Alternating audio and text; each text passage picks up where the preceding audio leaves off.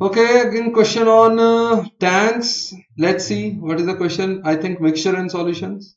There are two tanks A and B having kerosene and petrol in the ratio 4 is to 9 and 3 is to 8 respectively. When 30 liter of petrol is added to tank A, the ratio of kerosene to petrol becomes the same in both the tanks. Okay, let's see. Let's start solving simultaneously. What we are doing here, right, in A and in B, right, let's consider kerosene okay you are not adding a to b but a to some petrol. Okay let's see. Let's do it like this only. You have a in a what is okay kerosene let's say or petrol you can take. So what is petrol? Petrol is 9 out of 13 petrol is 9 out of the total 13 right? And you are adding here you are adding here pure petrol that means you are adding 1 out of 1 petrol. So pure petrol you are adding. So you can write fraction is 1 out of 1. Okay. So when 30 liter of petrol is added to tank A, the ratio of kerosene to petrol becomes the same in both the tanks. Okay, so that means it becomes 3 to 8. Because kerosene and petrol is 3 to 8 in the second tank. So it should become 3 is to 8. That means petrol should become 8 out of 11. Right? Petrol is 8 out of 11 total. Right? So it will become the same ratio as of the second tank. Right? So here if I take cross differences, I am applying alligation here. So 99, 13 into 8, 104. So it is 5 divided by 13 into 11. Right? Here it is 11 minus 8, 3 by 11. Right? So 11 cancelled. So it is 39 is to 5. Right?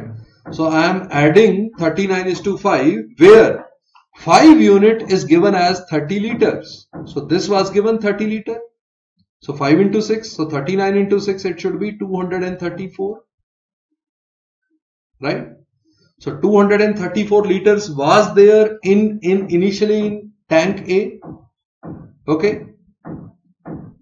How much kerosene must be added to tank A such that the concentration of kerosene in A becomes equal to the initial concentration of kerosene in A.